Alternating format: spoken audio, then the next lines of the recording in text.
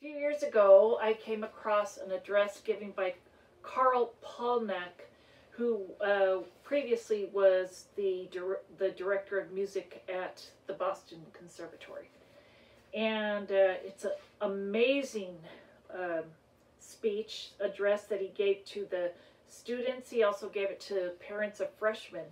So uh, I just love this so much and he talks about uh, uh, 9/11 and um, and the experience he had. He was living in uh, New York. He was in Manhattan, and just what what they all went through those those first few days and weeks and. Um, I guess it, I mean, we watched it all, we all watched it on the news, but it was interesting to read his, uh, address. So let me just quote him.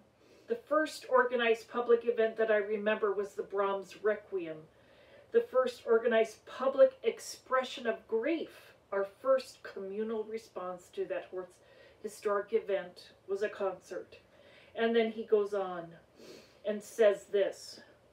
Again, I'm quoting Music is one of the ways we make sense of our lives, one of the ways in which we express feelings when we have no words, a way for us to understand things with our hearts when we can't with our minds. And then later on in this wonderful address to students and parents, he says this, and this is very key. If we were a medical school and you were here as a med student practicing appendectomies, you would take your work very seriously. Because you would imagine that some night at 2 a.m., someone is going to waltz into your emergency room and you're going to have to save their life. Well, my friends, someday at 8 p.m., someone is going to walk into your concert hall and bring you a mind that is confused, a heart that is overwhelmed, a soul that is weary. Whether they go out whole again will depend partly on how well you do your craft. I love this um, quote of Karl Paulnack because it, it, it helps me it it puts things in perspective and helps me keep it there realizing what what uh, why I'm doing this. Um, so vision is very important and we're going to segue into confidence in a minute but let me read a couple of other uh, quotes.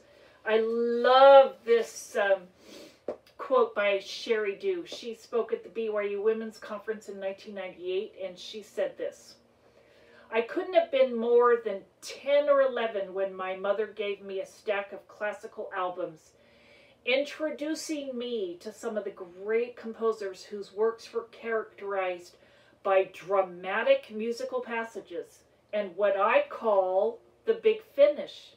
I would lie in front of the stereo for hours listening to the third movement of Rachmaninoff's second piano concerto or his prelude in C sharp minor, all the while imagining myself at a shiny black concert grand in Carnegie Hall.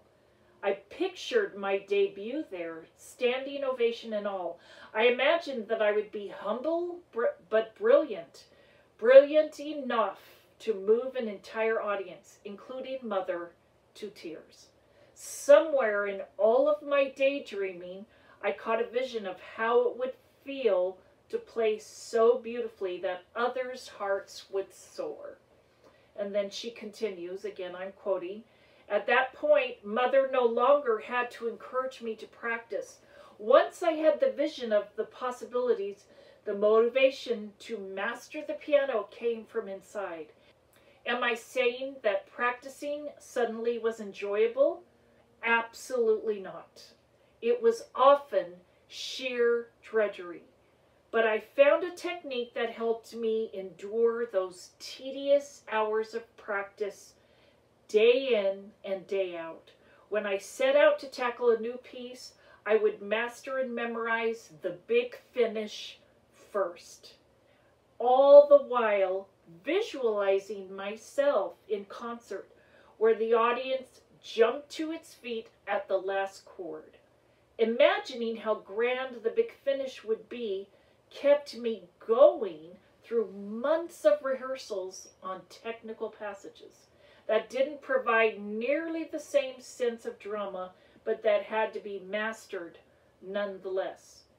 In short, my progress on the piano and my motivation to practice increased dramatically when I caught a vision of my potential. End quote. I, I love this because the vision of what we want to do and accomplish is so important, uh, whether we are a student, whether we are a teacher, a performer, and the list goes on. When I was preparing to perform my senior recital at Brigham Young University, I uh, was going through some different health challenges which have continued through to this day. But I, I got really discouraged, and um, I had I had a book in my very small library back then. Um, it's entitled "With Your Own Two Hands" and is written. The author is Seymour Bernstein, and he's just awesome. And I've had the opportunity to meet him. And this book the perspective that he takes us through as far as practicing and performing and nerves and technic technical things is amazing and I would pull out that book every single day before during and after my practice sessions and this book and reading it and internalizing many of its concepts really helped me keep my focus and so I love this. In in a chapter, let me find it. Chapter eleven in this book, uh, with your own two hands, Seymour Bernstein says this. One summer, toward the end of his career, the late cellist Gregor Piatigorsky was scheduled to give a solo recital at the Tanglewood Festival in Massachusetts. Several of his students, unable to find seats in the sold out auditorium, were given permission to listen to the concert backstage. There, they witnessed their master, a lifetime of brilliant performances behind him, pace nervously back and forth. Finally, the moment arrived. The auditorium was darkened, the stage lights were slowly raised to full intensity, and all was in expectancy. Suddenly, as though unable to contain his anguish one second longer, the guest artist stopped his pacing, turned toward his students, and exclaimed, There are no heroes a moment before a recital. Whereupon he set his jaw, lifted his cello into the air like a scepter, and charged onto the stage amidst thunderous applause. In his playing, he was the hero he could not be backstage.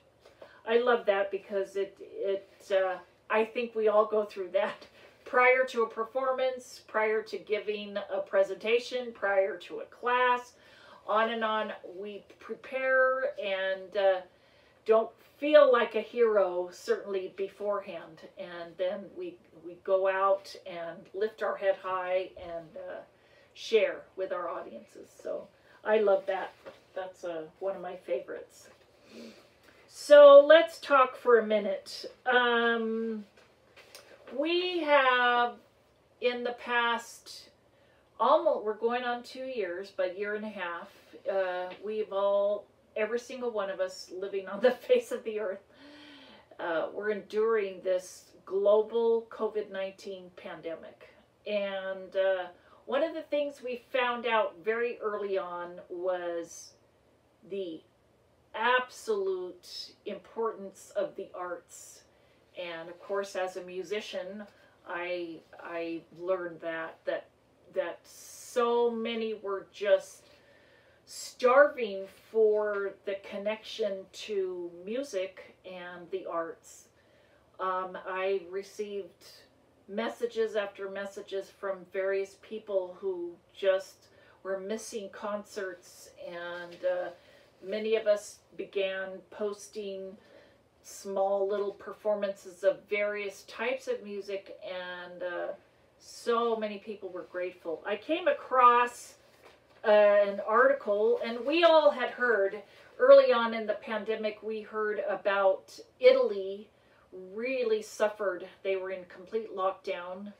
And um, we heard, and I saw this on, on the news, we saw it on social media, where people would be out in their balconies and they would be singing and there was professionals playing from the balcony and and I I didn't uh, I I just saw little clips here and there and thought how wonderful and and uh, that that people were sharing across the way and across their balconies. But I came across this uh, article written by let's see if I can say his name Aldo Cicchini, who is a violinist, and um, he's uh, part of the radio television, the Italian radio television orchestra in Milan. And uh, there's an article that um, was posted in April 2020 in the United Nations News. And he says this. Um, he, he actually he was involved in a project at La Scala, the great uh, opera theater, and he said this: everyone stopped, opera, cinema, theater, everything. We are all worried about this. And again, this is April 2020 because it's difficult to think about our work as it was before. And then he goes on, and I just love this. He said in March, which would have been March 2020, one of my colleagues in the or orchestra at La Scala called on every musician in Italy to open their window or to go to the balcony to perform at 6 in the afternoon. The first time I took part, it was a very cold evening. It was strange because most of the neighbors didn't know that I played the violin. When I started playing, I felt quite shy.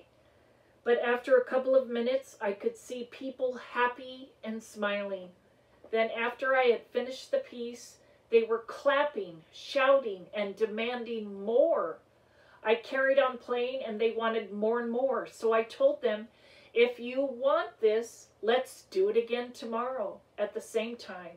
That was the beginning of everything. I love I love this. I, I, I can you imagine? There they were all in lockdown in their uh, homes and apartments, and they emerge on their balconies and are are blessed by hearing this wonderful violinist. Now back to uh, Aldo Cicchini's um, article quote from then on, I played many famous pieces from different countries, such as mu music from the movie Cinema Paradiso, or Clair de Lune by Debussy, or Carlos Gardel's Por una Cabeza, and Imagine by John Lennon. Although the acoustics are not great on the balcony, the music is bringing people closer together during this time of isolation. It is not a cure for the disease, but it is maybe a cure for our hearts. Let me say that again. Music is not a cure for the disease, but it is maybe a cure for our hearts.